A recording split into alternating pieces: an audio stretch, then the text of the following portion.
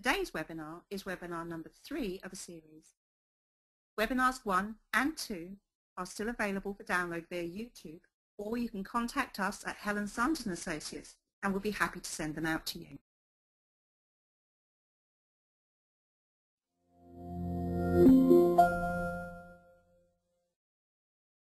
Go along by typing them into the, question box that you should be able to see on your screen. The webinar will be recorded and it will be made available.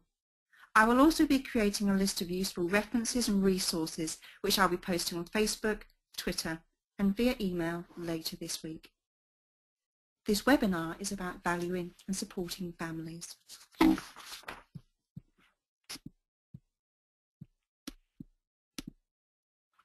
In this webinar, we will be exploring approaches to supporting the families and carers of people living with dementia. To do so, we will begin by exploring our own concepts of family and how these can impact on the support we give, or not, to families and family carers. We will then think about the limitations that paid carers may face in gaining and holding information about the people they support, and how alliances with family carers are essential if we're to uphold the well-being of the person living with dementia. And finally, we will look at how person-centered thinking tools and circles of support can be used to build and strengthen those alliances. As well as some challenges to our thinking, I hope we can have some fun along the way. So, what does family mean to us? We all come from very different geographic, socio-economic and cultural backgrounds that bring with them multi-layered and dynamic images of what family might mean. Our past and our ancestry influences our perception of family, and our own experiences shape the experiences we create or strive to create for the next generation. Our own experiences, the highs and the lows, and our own expectations of family can directly influence how we perceive the family units of those we may support living with dementia. There are times when I hear staff saying in exasperated tones that their job would be so much easier if it weren't for families. It may not be said out loud, and it may not be said all the time, but there can exist a perception that some families are almost akin to the monsters, detached, maybe feared, maybe even seen as a source of amusement, but always separated from community by their difference. At times, such families can appear eccentric and appear to be interfering by bringing their own customs and rituals to bear upon services, seem to be disrupting paid staff in their efforts to support the person. But however their sin, this same group of alienated individuals are expected to act as if they're the Waltons, warm, forgiving, ever charitable, eager to help, ever able to adapt and accommodate. This juxtaposition may sound extreme, but it's one that I see played out time and time again across so many different care settings. And a great deal of conflict can occur when the expectations of families and friends clashes with those of the paid care workers. The imbalance of expectation creates cycles of conflict as the demands of alienated families become ever more at odds with the expectations of paid carers. This breakdown in communication can so often result in disconnected support for the person, leaving them isolated within their own community and, and creates a greater risk that they may be isolated or separated from their families and carer networks. The Prime Minister's Challenge on Dementia, which comes to an end in a few days at the end of the month, brought to the fore the concepts of people living with dementia living well, with support for them and their families in dementia-friendly communities. Set in motion by the National Dementia Strategy and the Prime Minister's Challenge, the Dementia Action Alliance developed outcomes, aspirational statements that, through co-production, all people living with dementia should be able to say. One of those aspirational outcome statements is for all people to be able to say, I have a sense of belonging and of being a valued part of family, community and civic life. We have come a long way, and my last webinar focusing on the rights and barriers to the rights and citizenship of people living with dementia explore this but we need to keep moving if we're to achieve the outcomes that we've all been set. As part of their annual survey, the Alzheimer's Society asked 1,000 people living with dementia about their experiences of living well. The results, published in Dementia 2014 Opportunity for Change, shows that 58% of people felt that they did indeed live well. And that's great. But it means that 42% do not. A significant 61% said that they felt anxious or depressed recently. And of those people who were looked after by a carer, 43% said their carers received no formal support or guidance. Towards the end of last year, the Care Quality Commission published its findings from a thematic inspection into dementia care. Titled Cracks in the Pathway, the report identified that in 33% of cases and a substantial 60, eh, of 33% of care homes and a substantial 61% of hospitals they visited, support was classed as either variable or poor in relation to decision making and choice. The result of this poor care is that in those settings, people with dementia or their family carers are not involved in decisions about their care or choices about how they spend their time. Yes, we have come a long way, but our outcome remains an aspiration for many if, at a fundamental level and in the most important of circumstances, we are failing to talk to people. And crucially, we appear to be failing to listen to and act upon their hopes and their needs. Participation in civic life and the theme of developing dementia-friendly communities is kept in focus through the Dementia Promise. Published this year by the Alzheimer's Society, this manifesto sets out what the charity sees as the key initiatives to be taken up by the next government, whatever its colour. The manifesto draws on the findings of another key society report, Dementia UK, the second edition. This report provides the updated statistics relating to the experienced people living with dementia in the UK.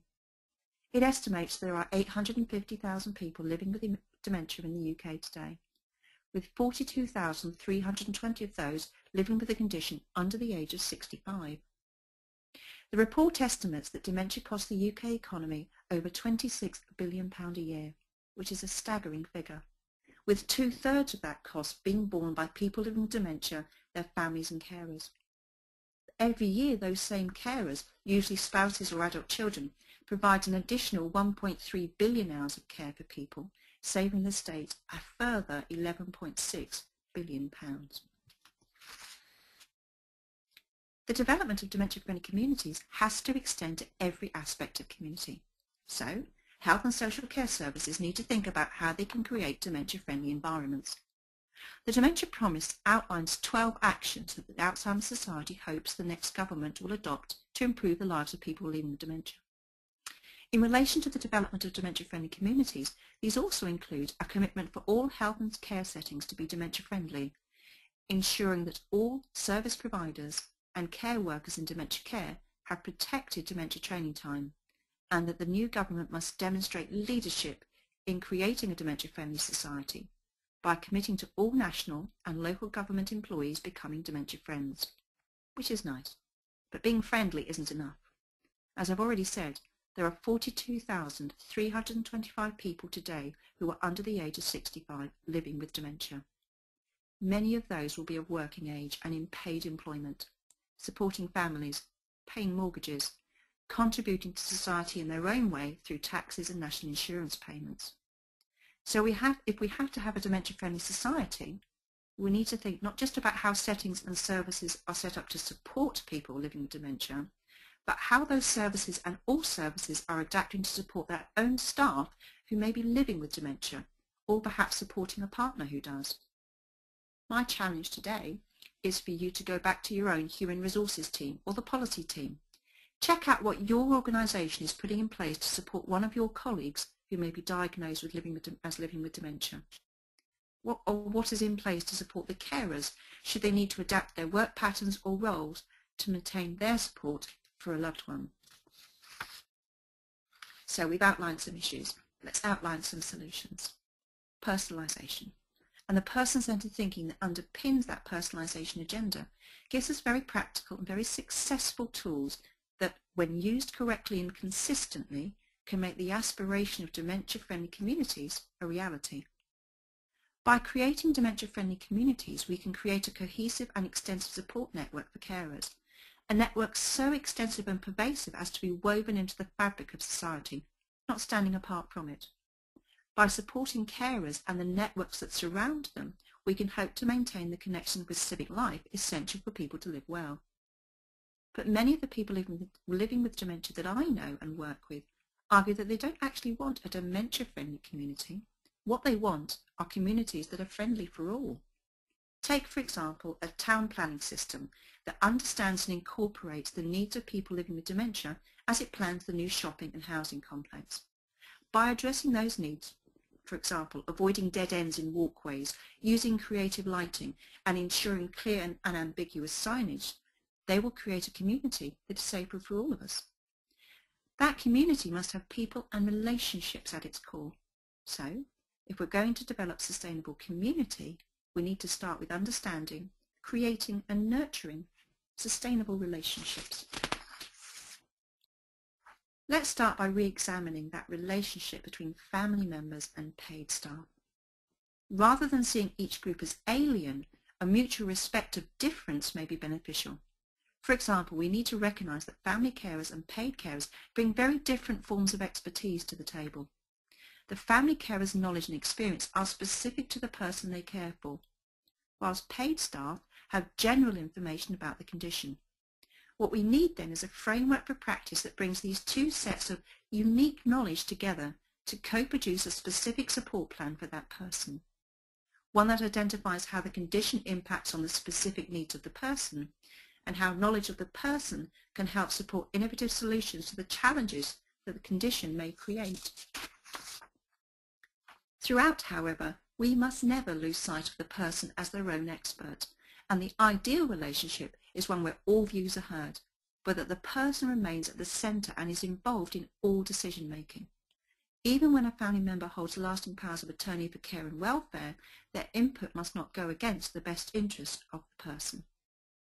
This can be seen as challenging at times for some services if they see the family's desires as at odds with the knowledge of their, their knowledge of the person's wishes. It takes courage, but also humility here to be able to address those concerns without causing offence or further alienation. The connections are too valuable, but that relationship must not be at the sacrifice of the person's rights or dignity. In a recent blog, Helen Smith, who is a community connector with Community Circles, spoke about the discussions in social media and in the news about loneliness, raising concerns about the significant impact that loneliness can have on a person's well-being. Indeed, the Campaign to End Loneliness calculated that the impact of loneliness on life expectancy is startlingly equivalent to smoking 15 cigarettes a day.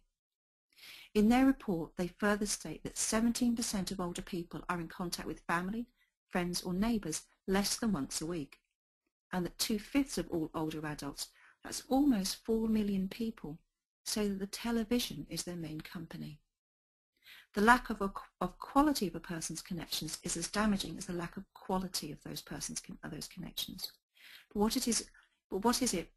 Whether it's intimate connections who the person sees once a week or looser connections they see every day, it's the maintenance of connection that matters, the strengthening of those connections.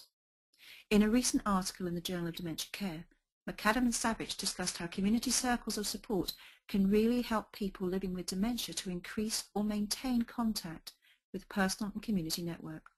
Circles are very powerful, and I suggest you read Helen Sanderson's Facebook and blog posts by Michelle and Helen from Helen Sanderson Associates to see how they have been using them to make a real and sustained difference for the lives of people living with dementia. One-page profiles, and importantly, the meetings held to generate them, are the groundwork to developing community circles. The first meeting to develop the one-page profile can offer a template for how future circle meetings should be held. The development of each person's one-page profile is key then to the personalisation of services and therefore to the maintenance of the person's relationships and networks. This development should not be an interview process, but should mirror the principles of reciprocity. Then it's about how the richness of information gained and shared is utilised. The meetings always start with a round of appreciation. After everyone present has introduced themselves, attendees address the person who is the focus of the meeting directly and say what they appreciate about the person. This direct, genuine feedback has profound emotional significance. I can recall in one meeting a daughter sitting very stiffly by her mum, and saying directly to me, I never know what to talk about. She just doesn't answer me. She said that as her mum's dementia developed, she'd found visits and time together a greater and greater strain. But in preparation for the meeting, I'd asked her to come prepared to share something that she appreciated about her mum. So she looked at her mum and she told her how she'd appreciated all that she did for her as a child. As she began to talk, she relaxed. She began to talk about the fun that she and her sister would have at home, the constant supply of fresh baking, the delight of licking the spoon, and the surprise at almost every meal time as they came home from school, because Mum would invite anybody from the neighbourhood who, in her mind, needed a jolly good feed. As she talked, her mum reached out to take her hand, and for the first time for ages, she said her name. Afterwards, we talked about how even though mum might not answer, she was always present, and she may always be listening. Before we can work to sustain relationships, we need first to identify those relationships and the networks they might sit within.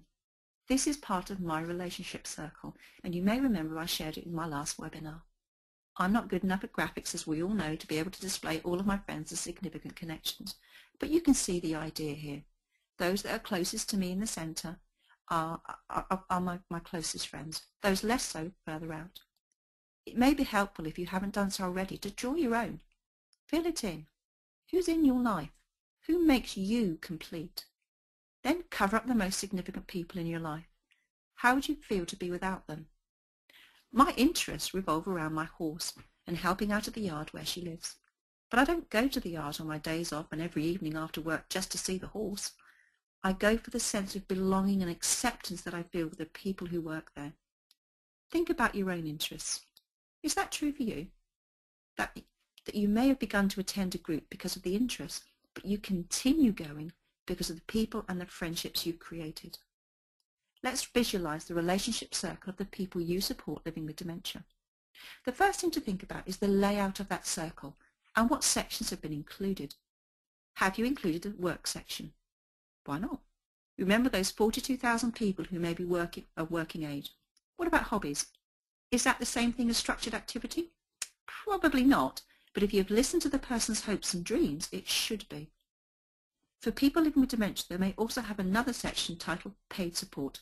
People who are paid to, to provide support either to them or for them. Okay, so once you've drawn the map, what about how we populate it? Think about the people you support. How densely is their circle populated?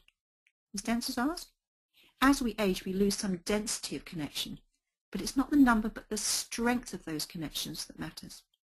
For some people living with dementia, the connections that remain are with paid staff only. What about staff as friends? Hmm. How might it feel to have to pay for your friendship? For people with a paucity of connections, sustaining existing friendships and neighbourhood connections or having the opportunity to develop new ones can literally make the difference between life and death. This powerful image is part of the campaign from Age UK fighting against the loneliness that many older people experience in the UK today. It's stark, but all true image reminds us of the urgency with which we need to work to take care of the precious connections that people hold and gives impetus to our helping to create every opportunity for new ones. A sudden change of well-being, perhaps, resulting in the need for service support services, can alter the dynamics of people's existing connections. Both sudden and insidious changes can result in carers experiencing a roller coaster of emotions. These strong and unbidden emotions can cause us to act in ways that others may perceive as challenging or threatening, but they should be seen as neither. They should be seen rather as a way of expressing the chaos, the fear or the rage that is happening inside us. The family member who is making their third complaint that week about the laundry may not be really talking about the laundry. They may be, but there is a strong chance that this may be their only way of expressing their inner fears and emotions. Imagine accepting others into the intimate life of you and your loved one. Many carers express exasperation that they are criticised for doing their best, and of course we understand that concern. But the criticism needs to be seen for what it is. If the laundry is poor, sort it out. If you know the laundry is good, then step back and think about what this person might be saying. Kubler-Ross's grief cycle helps us to think about what family members may be experiencing as their loved one is diagnosed and then lives with dementia. Initial denial may be expressed through shock or avoidance of the subject, an unwillingness to talk or to engage. Let's use our laundry example. They may just simply take the laundry home without confrontation or comment. Anger may be expressed through frustration and comments such as, how many times do I have to tell you? Either spoken out loud or whispered behind backs. Depression may appear as hostility, with battle lines very firmly drawn. And here we're back to the images of the monsters.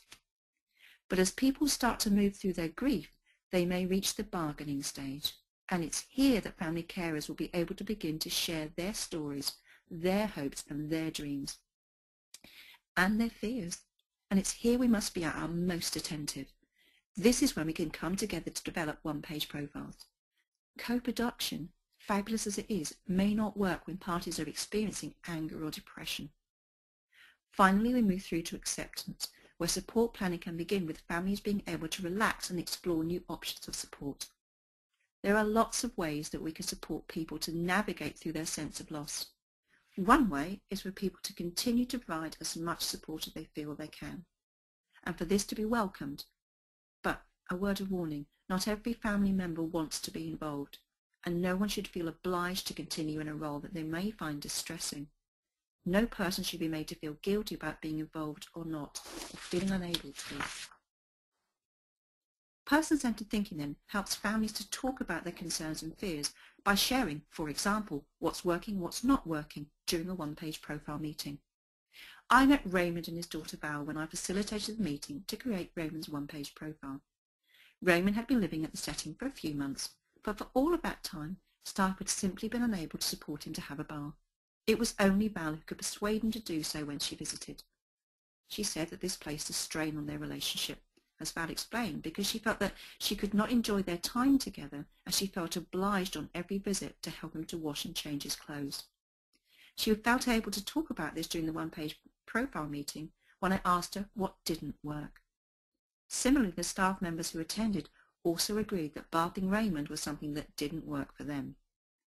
Val said that simply maybe because they were singing the wrong songs. It was simply that simple. Raymond would love to sing as he washed and changed, Val had discovered this early on and always sang and danced along with him. Staff now sing and dance. Raymond relishes the sing-along in the bar, and Val's visits now consist of time spent chatting and laughing.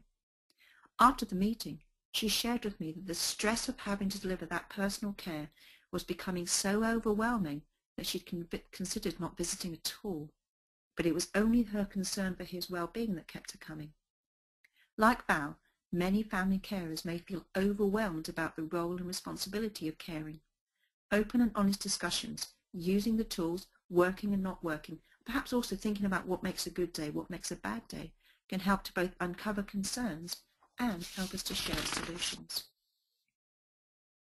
Relationship connections can also be influenced by the environment, physical and social, that surround the person.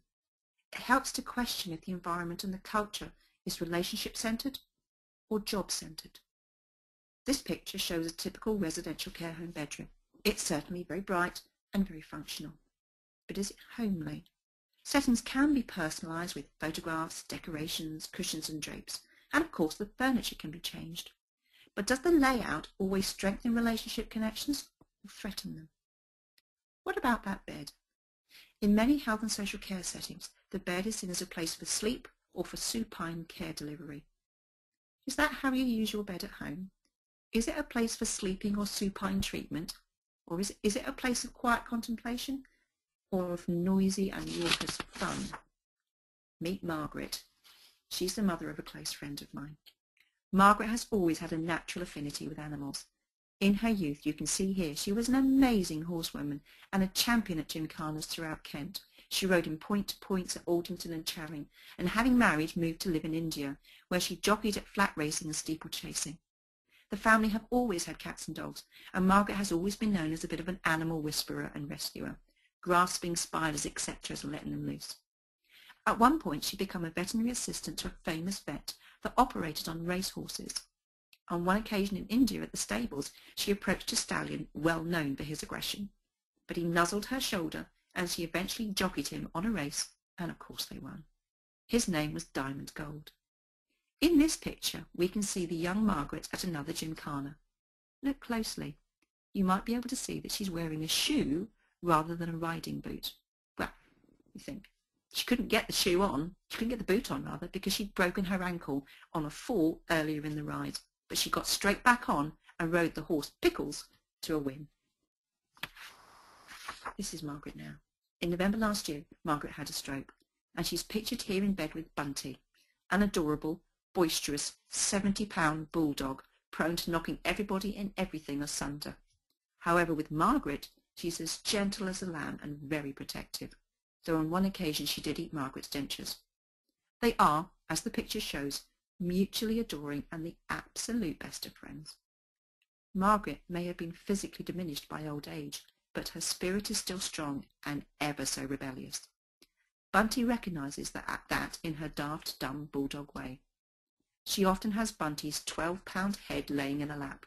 But Bunty's irreverent too. They're two peas in a pod. Family isn't always people, and beds are not always for sleeping in. But what about the size of the bed? How hard might it be for someone who has, been who has lived in a loving and intimate relationship to suddenly sleep alone? What provision do we make to support the intimacy of relationships? Can people fall asleep being cuddled? If they have no one but paid staff in their network, how do we support that person to feel held and safe? Who cuddles them to sleep? What bureaucracy is put in place to protect us from human contact? Of course, we need to keep people safe, but being safe should, shouldn't mean isolation, and it can never mean loneliness or, or fear.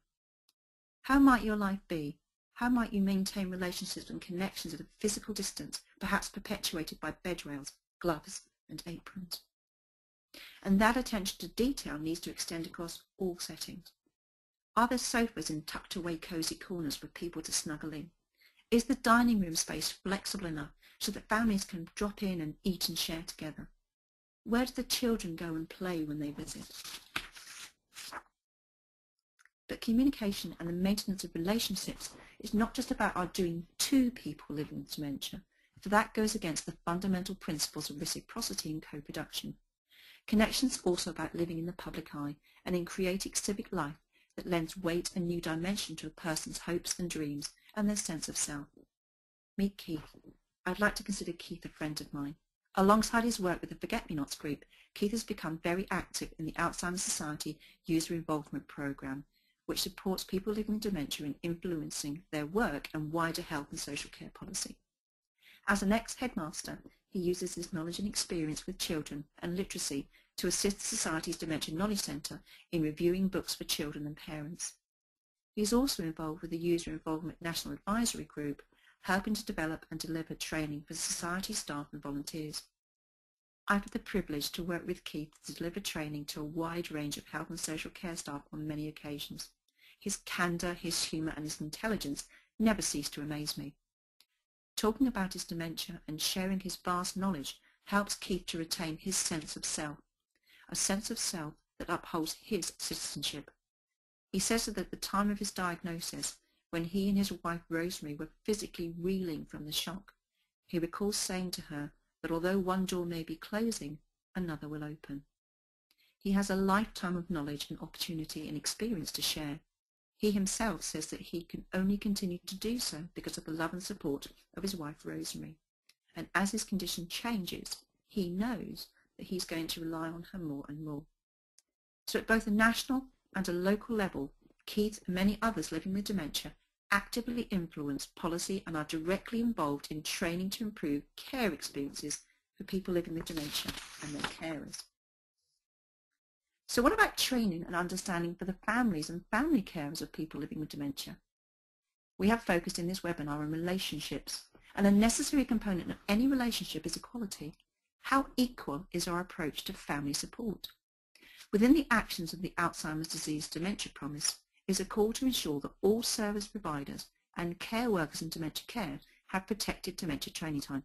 Without a doubt, an admirable call to action, and it's going to be one that I obviously support, provided that means more than one afternoon every three years. We've already seen that every year carers, and we've said spouses and adult children, provide 1.3 billion hours of care saving the state £11.6 billion. But how much information do carers receive? There are some excellent services available. We've also heard in the Alzheimer's support that a significant number of carers have no support at all. With only the specific knowledge about the person and no general knowledge about the condition, carers may struggle to sustain the individualized support that the person needs. Many family carers will provide support for 24 hours a day, 7 days a week, 52 weeks of the year. If we are to enter into and sustain honest relationships with families and family carers, we need to develop shared experiences. And one way to do this is through shared learning. The Alzheimer's Society, Dementia UK, Age UK, and national and local carer support groups are very active in offering this support. But what about when the family member can no longer manage or is absent and the person receives formal support? How much shared learning takes place in informal health and social care settings? I've worked as a trainer and facilitator for many, many years, and I can probably count on one hand, maybe one and a half, the number of times that family carers have been an active participant part of the learning, the learning group. If we want to develop genuine relationships, we need to be transparent in all that we do. I do know of services that employ service users to peer review their service delivery. I know of others that support carers and family members to be involved in the internal quality assurance process, for example using dementia care mapping as a tool to evaluate the experience of people living with dementia in that setting. But these are isolated experiences. How does your service involve the person and their family carers? Do you share training with the staff? Are they involved as consumers in the rolling quality assurance? If not, how can you create the opportunities for this to happen? If your immediate reaction thought is to say, well, that possibly can't happen, we can't do that, ask yourself what drives that reaction. What do we have to hide? We're not the experts. We have the general knowledge. We need to share that with the people who do have the expert-specific knowledge about the person. Our statistics have also told us that over 42,000 people live with dementia under the age of 65. For many of them, it will be a younger generation, perhaps their young children or grandchildren who provide their support. If we're to make society truly dementia-friendly, we need to future-proof civil awareness by sharing understanding with our children. Truly dementia-friendly support ensures that inclusion and humanity are intrinsic within all school curriculums and that information about specific conditions is also made easily available. The Alzheimer's Society is actively supporting over 140 school projects aimed at raising awareness in schools and in using that knowledge to forge links and build relationships in the wider community. Those relationships have resulted in shared learning projects with children, perhaps through new IT items such as Skype or iPads for life story work, or through shared dance and theatre production, poetry and reading classes, shared art classes, and many, many more ideas that break down barriers and create community networks. The Dementia Diaries are one such initiative developed in Kent. They are stories gathered from young carers who support a member of their family with dementia. The stories are funny and poignant in a way that only a child could write. Here we see part of Fred's notebook. He hates the idea of diaries, as he talks about the fun he has with Gramps. In another part of his notebook, Fred talks about how Gramps always seems to have too many layers of clothes on. And to come to terms with the dementia, what Fred now does is he joins in. He puts on as many layers as he can too. The diaries have been used to develop the, uh, the brain cell boogie. This is a short clip available on YouTube that helps explain dementia to younger children, and the link to it will be on my resource list. But talking of children, I have two beautiful girls. Incidentally, they love the dementia diaries. But I, want to finish by offering a word of caution about listening and sharing. I ask you to think about how much sensitive information we hold as paid carers. The secret shared at three in the morning when someone wakes from a bad dream. Or the repressed and hidden memories that come to the fore as someone loses the control over what memories they share and which they keep locked away. One of the hardest but most important parts of relational care is the development of trust. With that comes the moral duty to protect the stories of the people we support. We talk about holding in communication. That means that the conversations we have away from the person is held in the same respectful tone as though the person were present. I believe that shared learning is a way to develop open and honest relationships to create that trust with the people we support and their families and carers. Over time, I've kept some of my personal stories, my secret fears, hidden from my daughters. If I develop dementia and I receive formal support, I wonder how many of my secrets will be told. Just because we have information doesn't give us the automatic right to share it. Okay, we've come to the end of the um, formal presentation of the webinar. What I'd like to do now, we have a number of people who have come and are present. I'd like to ask those attendees who can a question. The question is, how do you involve family carers in the delivery of the support that you, you provide? You can type your answers into the boxes and we, we can have a discussion about what goes on, the good practice, and let's share it.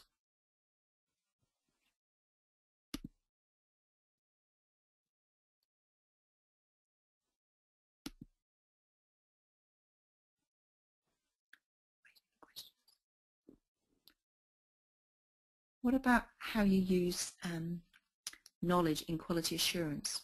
Is anybody um, that involves people living with dementia or their families in their quality assurance cycles? How do you do that? What might the barriers be?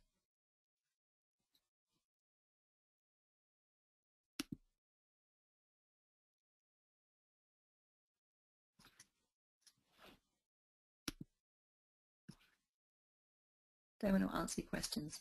Okay, that's fine.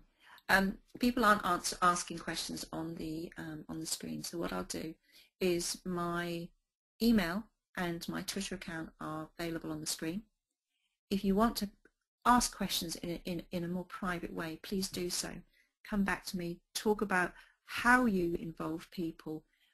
Think about the barriers. What are the common issues that we might face in trying to engage people in, in helping us to help them? Thank you for taking your time out to listen to me today and I look forward to hearing from you soon.